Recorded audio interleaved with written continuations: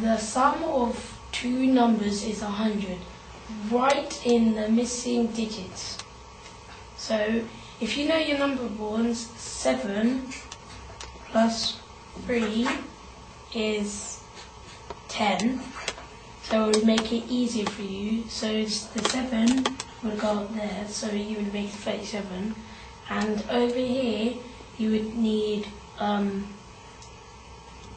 over here, you've done those two, and um, th- they would make 10. Then plus the 30, and the, thir- the 30 would make 40, and um, 40 and 60 equals 100.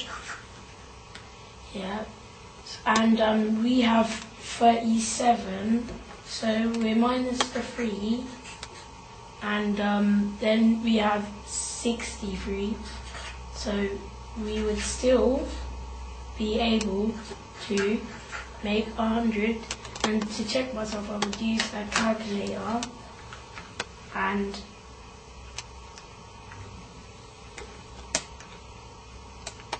and I am correct.